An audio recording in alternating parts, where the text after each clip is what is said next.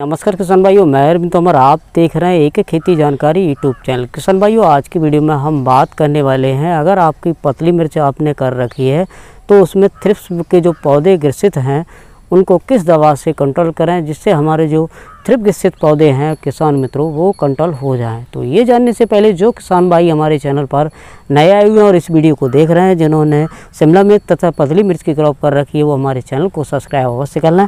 All notification पर click कर लें, जिससे आने वाली वीडियो का आपको तुरंत नोटिफिकेशन किसान मित्रों मिल सके। तो किसान भाइयों जो देख रहे हैं, ये जो मिर्च है किसान मित्रों, इसमें वाइट और थ्रिप्स का अटैक देखने को मिल रहा है। किसान मित्रों, जो थ्रिप्स का अटैक है, वो आप ये जो पत्तियाँ देख रहे हैं, थ्रिप्स की ग्रसित जो पत्तियाँ होती हैं किसान मित्रों, वो ऊपर के लिए उल्टी उनकी नाप किसान मित्रों पौधे की पत्तियों की हो जाती है और वो पौधा है किसान मित्रों, उसके अच्छे से बढ़वार देखने को नहीं मिलती है और अच्छे से पौधा किसान मित्रों विकास नहीं कर पाता।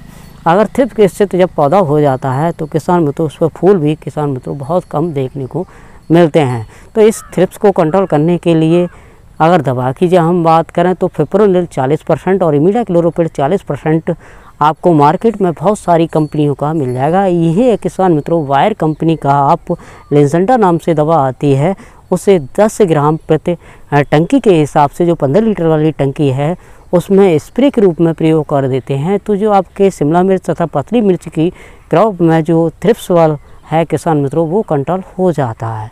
किसान मित्रों, अगर इसकी पहचान की हम बात करें थिप्स की तो जी, इस तरह से अगर आपके खेत में, जैसा कि आप देख रहे हैं, इसकी जो पत्तियाँ हैं, वो ऊपर की तरफ़ मिड़ी हुई दिखाई दे रही हैं।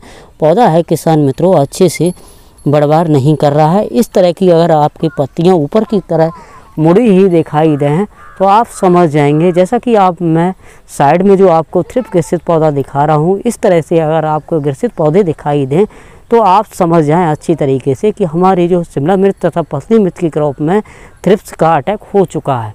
तो किसान मित्रों थ्रिप्स कंट्रोल करने की दवा जो मैंने बताई, आपको लिसेंटा 10 ग्राम प्रति टंकी के हिसाब से जो 15 लीटर वाली टंकी है, उसमें मिलाकर स्प्रे कर देते हैं।